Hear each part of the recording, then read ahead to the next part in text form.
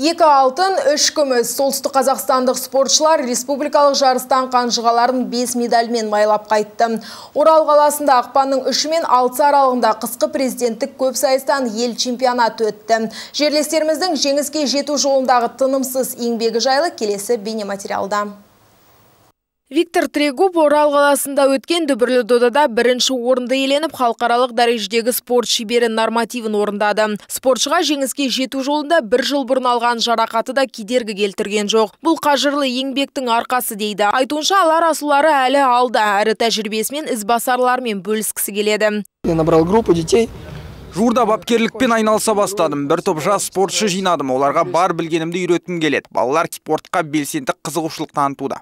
Данила Викторенко да қысқы жарыстарға тыңғылықты дайындалыпты. Бірақ облыстық іріктеу кезінде жарақаттанып қалып, екі айға үзіліс алыпты. Кейін жаттығуларға қайта оралып, жуырда ел чемпионатында күміс жүлдеге ие болды. 14 лет э, своей жизни отдаю спорту. Өмірімнің 14 жылын спортқа арнадым. Басында шаңғы тебуден бастадым. Түрлі жарыстарға қатыстым. Кейін биатлонға көштім. Ал соңғы 4 жыл бойы қысқы президенттік көп сайыстарға қатысып жүрмін.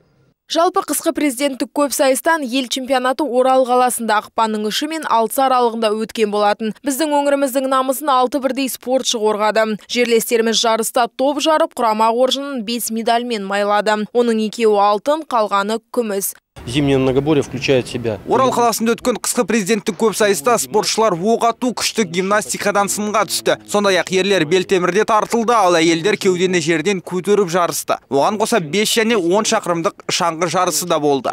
Айта кетейік, қазіргі таңда жерлестеріміз әлем чемпионатына дайындық үстінде ол наурыз айында Ресейдің Сацва қаласында өтеді. Дана Сәлімқызы, Әйгерім Мұқанова, Рустам Тілеужанов, муниципалдық телеарна.